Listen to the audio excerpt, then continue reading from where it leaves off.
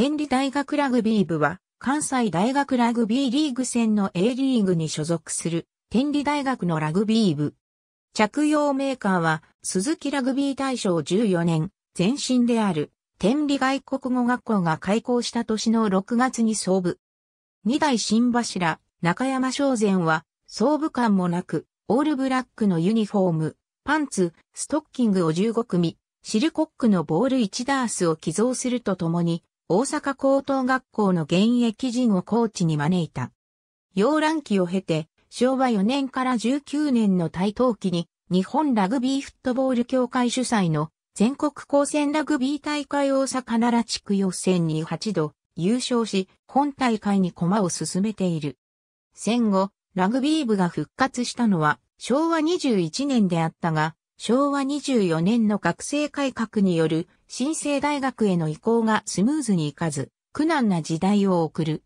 昭和30年、大学に体育学部が設置され、優秀な人材が入部し、発展の原動力となった。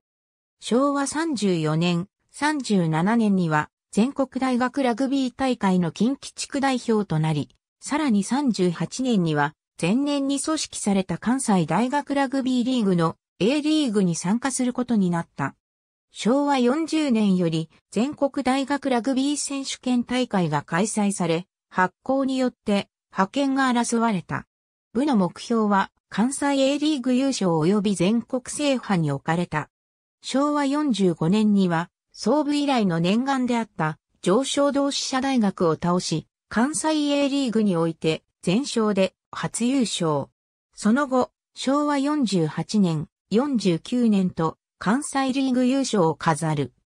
また49年、ニュージーランドのカンタベリー大学と国際親善試合を行い、14対38で敗れはしたが、大きな収穫があった。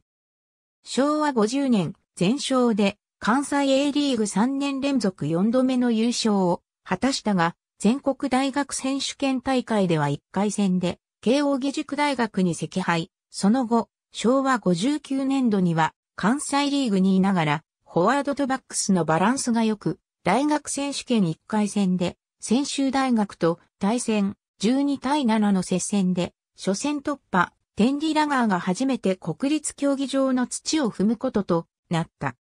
しかし、昭和60年、関西 A リーグ3位を境に、チームは年ごとに下降戦をたどり、平成3年ついに B リーグへさらに翌4年には C リーグへ転落した。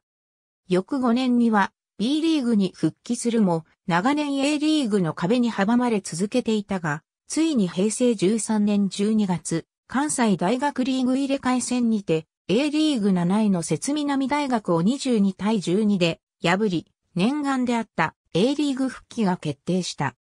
その後、平成17年には21年ぶりに大学選手権に出場。平成22年には念願であった関西 A リーグ制覇を35年ぶりに達成した。そして令和2年には大学選手権初優勝を果たした。ありがとうございます。